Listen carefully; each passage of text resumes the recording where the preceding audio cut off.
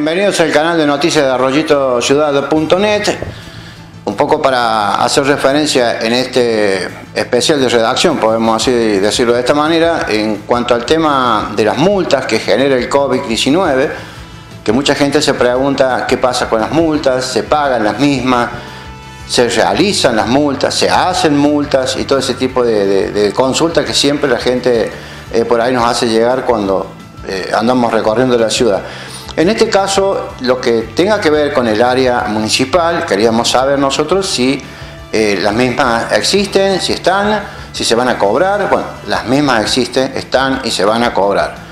Uno por ahí plantea que no se van a, va a haber una opción y esto eh, viene un poco por una charla que tuvimos de manera informal con el intendente Gustavo Ariel Benedetti, donde le consultamos sobre este tema de las multas y él nos decía que la idea es que eh, las multas se paguen con tareas comunitarias.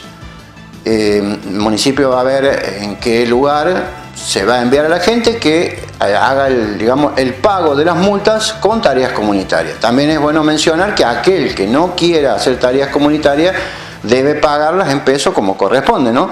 Pero la, la, idea es que las mismas se puedan pagar con tareas comunitarias, como hemos dicho eh, en, el comienzo de, esta redacción.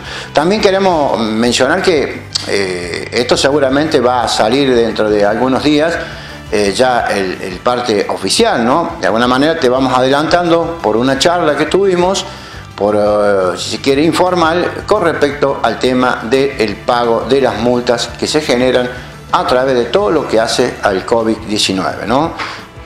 simplemente queríamos hacerle llegar a todos ustedes eh, por ahí este tipo de información porque genera inquietud en la gente y bueno, nosotros tenemos que responderle como medio desde acá.